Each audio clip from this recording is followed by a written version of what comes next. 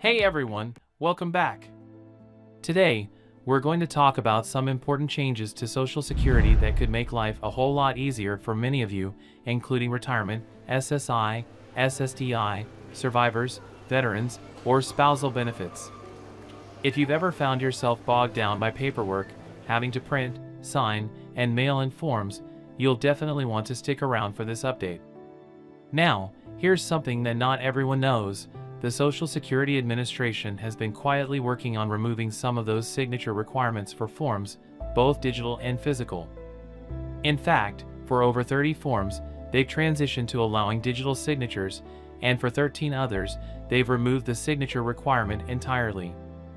This means fewer delays, less hassle, and, ultimately, quicker processing for millions of people who rely on these services.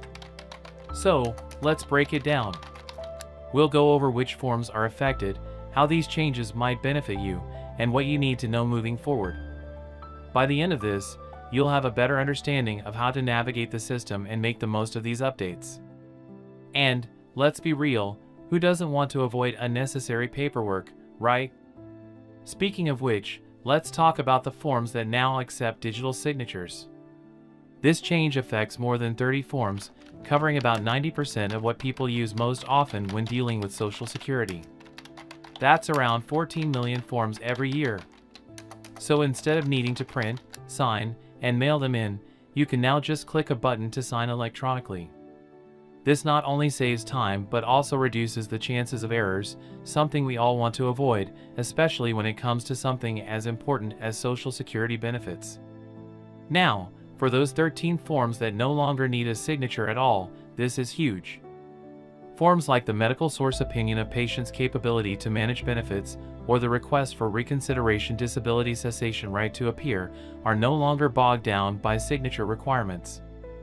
These are forms used by thousands of people, so this change is definitely going to speed up the process for many. And another big benefit here is that many of these forms can now be submitted online. This means no more having to mail in documents, which could take weeks or even months to process. So then, if you've been worried about delays in getting your benefits, these changes are going to be a major relief. What's more, the Social Security Administration is considering removing signature requirements for even more forms. So, we're not done yet, there are even more improvements on the way. And now, you might be wondering, what does this mean for fraud protection? Well, the SSA has reassured us that even though they're reducing paperwork and simplifying processes, they're not compromising on security. They've put safeguards in place to make sure that these changes won't make the system more vulnerable. You see, they're balancing efficiency with security, and that's key to making sure we all get the right benefits at the right time.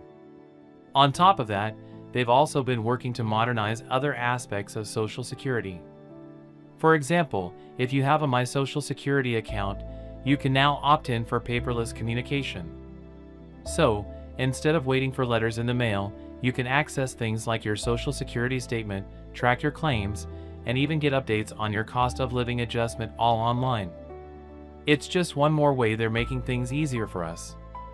Now, I know some of you might still prefer receiving things by mail, and that's totally fine.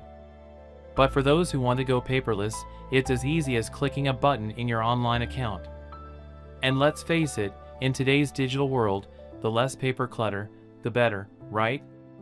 So, whether you're already retired, close to retiring, or just planning ahead, these changes are designed to make your experience smoother and faster. No one likes dealing with unnecessary delays or paperwork, and the SSA is making a real effort to streamline things. And next, keep an eye out for more updates. The SSA is planning to continue simplifying their processes, so if you're someone who deals with them regularly, you'll want to stay informed. Alright, that's it for today's update.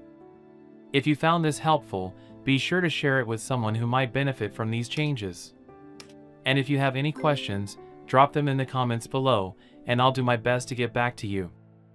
Thanks for tuning in, and I'll see you in the next one.